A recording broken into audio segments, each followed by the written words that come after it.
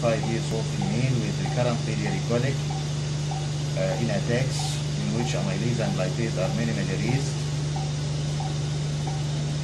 Now scanning from the stomach. This is nicely seen CBD. Oh. Yes, this is the vessel, but the pancreatic duct behind. Uh, the common bile duct is very nicely seen here. This is the common bile duct ending at the papillary region. Yes. And the pancreas is free. We will trace the pancreatic duct above, above. We will throw the echo endoscope. Yes, this is the CBD. Tracing the CBD above to the porta hepatis. And this is the portal vein and the hepatic artery as the island of the liver. Okay. This is the CBD, the CBD at the porta hepatis. And this is the portal vein and the hepatic artery. And this is the CBD and this is the liver.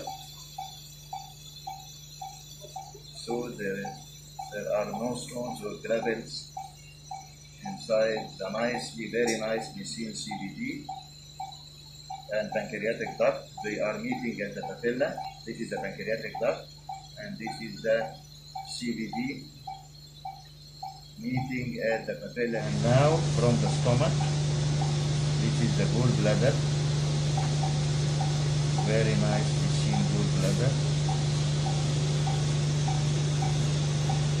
Yes, it is extended. and this is the neck of the gallbladder at the right side of the screen.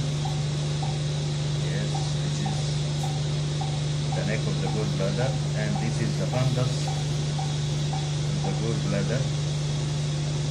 And this is segment 5 of the liver. This is very nicely seen gallbladder.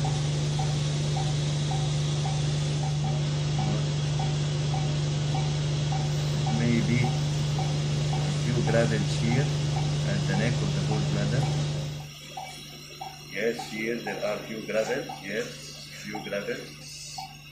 Yes, yes. yes.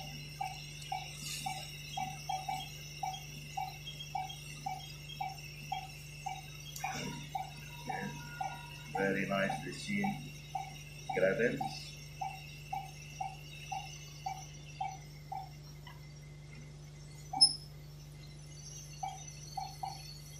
Very nice machine gravels. Yes, some gravels inside the good time. Okay.